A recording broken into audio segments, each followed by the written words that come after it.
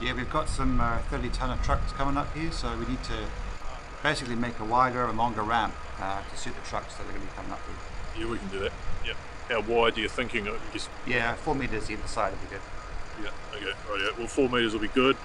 Um, in terms of length, if I if I finish the ramp where it finishes now, um, but start it a bit further back so we can get a bit of a, a um, not such a steep grade on it. Maybe I'll start it um, a couple of links back behind the dozer there. Yeah, it'd be good to get a, a smooth curve and a consistent grade so the trucks can come up here nice and easy. Yeah, got it. Yeah. Now we should be able to do that. I can use infield designs in the earthwork system in the dozer here. Um, what I'll probably do is just lay out some stones and I can kind of paint them so I can see them. So I'll just lay out some stones every 10 metres and, and that way I'll get that smooth um, alignment. I can lay them out like the centre line of the ramp, have a look back through them and might just have to adjust them um, so that I get a nice smooth um, alignment there and then I can pick those stones up like points um, with the blade of the machine and then we'll, we'll have that design and we can work to that.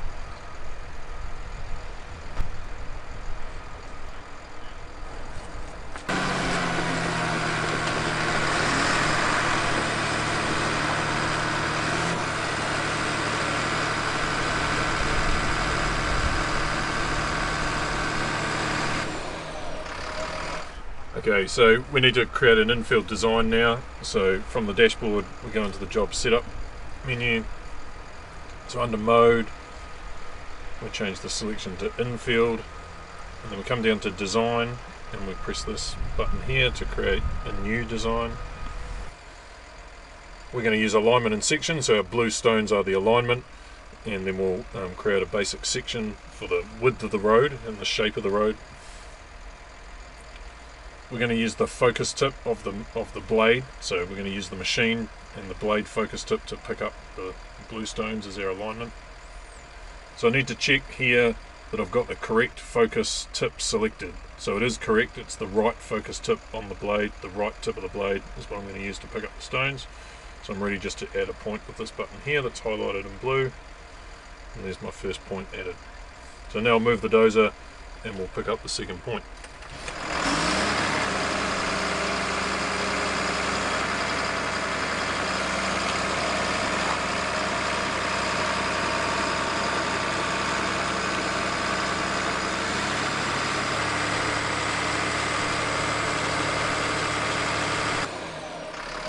Okay, so we're at the second point on the alignment now, the second blue stone, so all we simply have to do is just add the next point.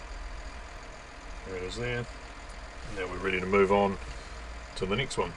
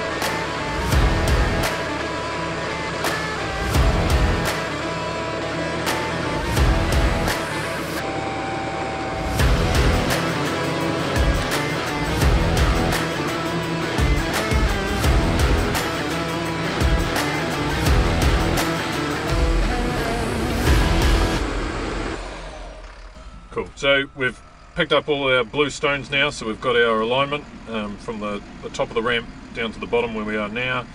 Uh, we've got a nice smooth curve um, in, in, those 10 metre spacings that we that we paced out, and we can smooth it up a wee bit more by eye while we're building it.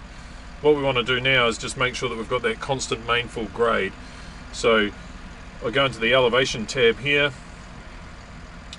and you can see that we start off up the top it was quite flat up the top and then we steepen up as we come down that grade so I just want to go from the start to the end so from the start to the end make sure my blue circles are on the start point and the end point and then I can use this button here to smooth that grade out from the start to the end and I've got that nice constant mainfall down my ramp. I can hit next.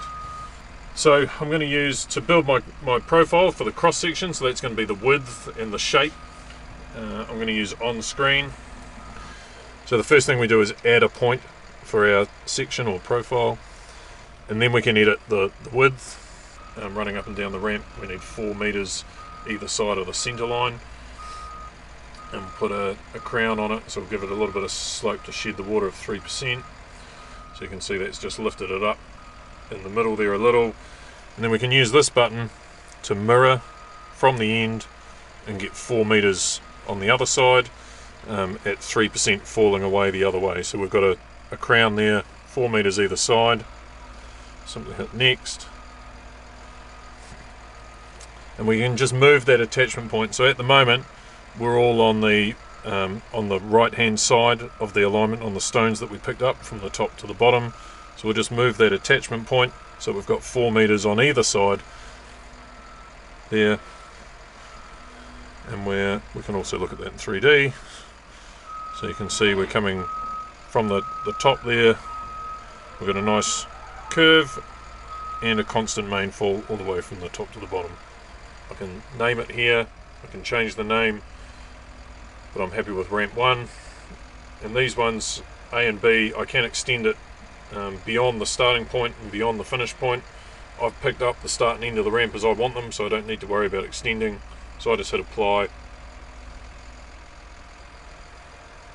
It's selected there in the list. It's saved at this point so I can select that. Ramp 1 selected as my design. Apply that. And it just shows us off design. I've got a big cross-section view there. I like working in the cross-section, but I'll just change that view to show you in plan. And there's our ramp. We're just sitting off the end of it, but you can see that, so it says off design. When we back back up, I'll back the dozer back up to the start. Here we are here, and I'll push that material from the top to form this ramp. So you can see the design there you can see we've also got our other site line work laid over the top so that's quite neat. I can be working on my temporary ramp design and I can also see the other line work um, for the site there as well